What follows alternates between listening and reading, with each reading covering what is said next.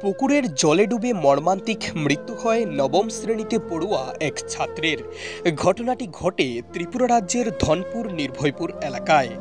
নির্ভয়পুর এলাকার বাসিন্দা বিপ্লব ভৌমিকের নবম শ্রেণীতে পড়ুয়া পুত্র প্রত্যুষ ভৌমিক অন্যান্য দিনের মতোই এলাকার একটি পুকুরে যায় স্নান করার জন্য এবং সেখানে গিয়েই অজ্ঞান হয়ে পুকুরের জলে পড়ে যাওয়ায় জলে ডুবে মৃত্যু হয় নবম শ্রেণীতে পড়ুয়া প্রত্যুষ ভৌমিকের। স্থানীয় লোকজনদের বক্তব্য, নবম শ্রেণীতে পড়ুয়া প্রত্যুষ বরাবরই পশুপ্রেমী ছিল। সে তার বাড়িতে দুইটি ছাগলও পালন করত। কিছুদিন পূর্বে তার প্রিয় ওই দুইটি পোষ্য ছাগলের কুকুরের কামড়ে মৃত্যু হয়। এতেই যথেষ্ট মর্মাহত হয় প্রত্যুষ।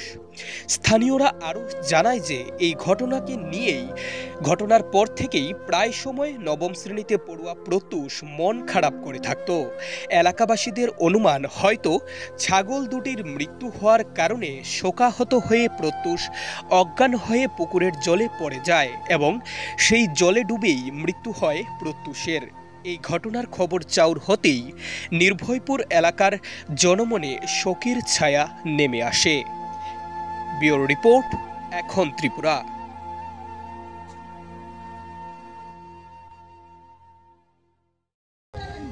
সে দুটা ছাগল পালতো। তো ছাগল পালার পরে কুকুরে এই ছাগল দুইটা ছাগলের কামড়াইয়া মাইরা লাগছে এর থেকে তার একটা আত্মসুখ আইছে। এর থেকে কিছুদিন পর পর সে ফিট হইয়া যায়। আচ্ছা। ফিটু ফিট হইয়া যাইতে পারে। এটা অনেকবার অনেক ডাক্তার টার দেখাইছে। এটা বেশি দিনের ব্যাপার না। আজ হয়তো মাস ছ মাসের থেকে এরকম হয়ে আইছে।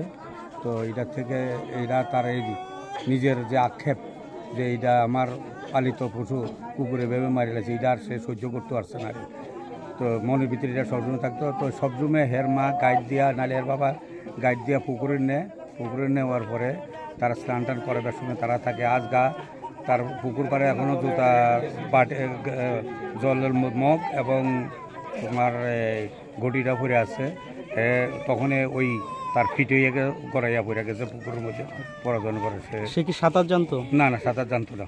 কোন ক্লাসে পড়েছে? সে এবার মনে হয় নাইনে নাইনে আচ্ছা। সাঁতার জান জানলেও ওই রোগটা মানে ছিল দেখা আর সে তো তখন তো আর এটা শেষ নাই। এটা সাঁতার কি করে দিব তখন? আচ্ছা এখানে কি বন্যা কবলিত কোনো এমন কোনো ইস্যু আছে বন্যার জল উঠছে উঠল সেখানে পাটটা এখন বর্তমানে জল নামে গেছে। বন্যার এখানে কোনো প্রশ্ন আইসে না রে। এটাই